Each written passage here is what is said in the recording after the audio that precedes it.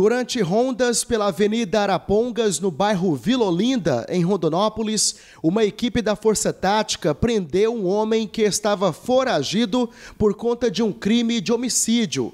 O elemento estava em um bar que já é conhecido da polícia por conta da intensa movimentação de pessoas em atitude suspeita. Naquele local estavam várias pessoas que usavam tornozeleira eletrônica.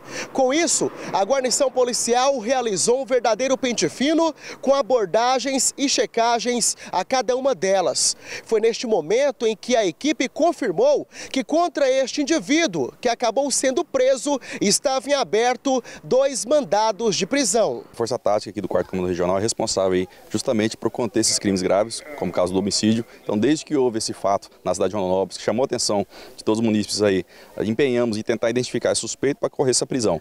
O trabalho da Polícia Civil, através da investigação, conseguiu identificar, foi qualificado suspeito, foi divulgado através também da imprensa, que colaborou na divulgação da foto de suspeito, que foragiu da cidade. Passou um tempo fora aí, mas ao retornar à cidade, logo a pisar em Rondonópolis, a equipe de Força Tática aí, no patrulhamento, com uma operação hoje, contenção, né, aumentando o seu efetivo de busca aí, suspeitos, foragidos, também de apreensão de ilícitos, conseguiu obter êxito em localizar esse suspeito em um lava-jato na região da Vila Olinda. Então, prontamente a equipe patrulhando, observou o suspeito, conseguiu fazer a abordagem rapidamente e deter aí para que fosse lançado aí para Mata Grande responder pelos seus crimes.